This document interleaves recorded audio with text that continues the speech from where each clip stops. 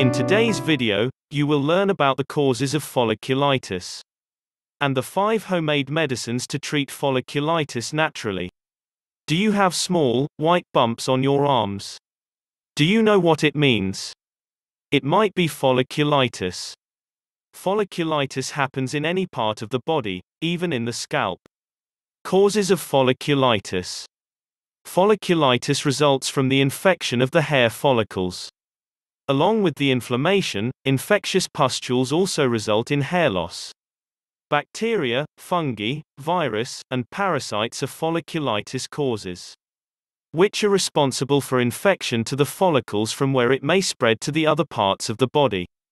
A follicle refers to a crust or cavity from which the hair emerges on the surface of the skin. The term folliculitis is used to describe the inflamed condition of the hair.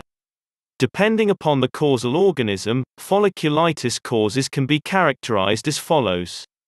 Bacterial folliculitis, fungal folliculitis, viral folliculitis, parasitic folliculitis.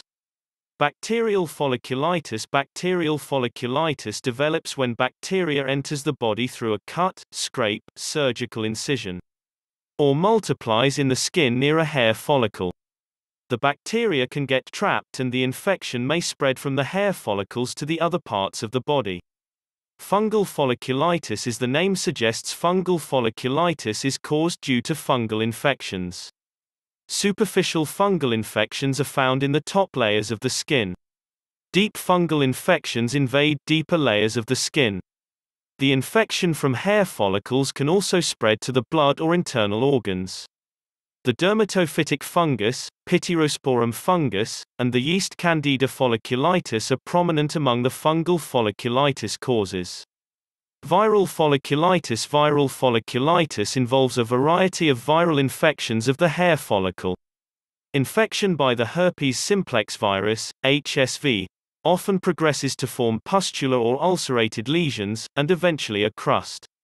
Infection caused by Molluscum contagiosum indicates an immunosuppressed state which manifests as multiple whitish, itchy papules over the beard area. There are also some reports of folliculitis caused by herpes zoster infection. Parasitic folliculitis parasites causing folliculitis are usually small pathogens that burrow into the hair follicle to live there or lay their eggs. Mites such as Demodex folliculorum and Demodex brevis are natural hosts of the human pilosebaceous follicle.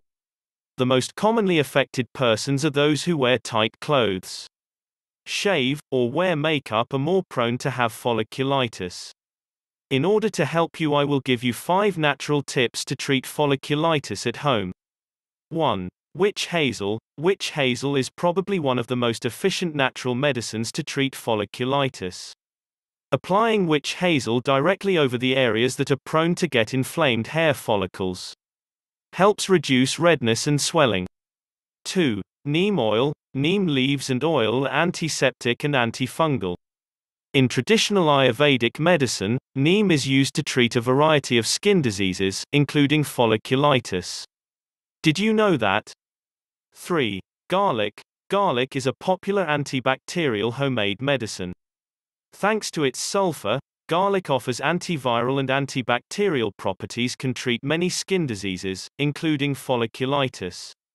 4. Oregano oil. It is gotten from the oregano flowering plant in the mint family. This is another natural anti-inflammatory, antibacterial, and antiseptic oil that can be used to treat folliculitis at home. 5. Coconut oil. We are always talking about the many health benefits of coconut oil. Watch the suggested video to learn more about it. It is rich in fatty acids, capric acid, and lauric acid. Coconut oil is wonderful for protecting the skin and use in the production of cosmetics. If you try any of these methods but still get white bumps on your skin, visit a dermatologist to check what is the best treatment for your case.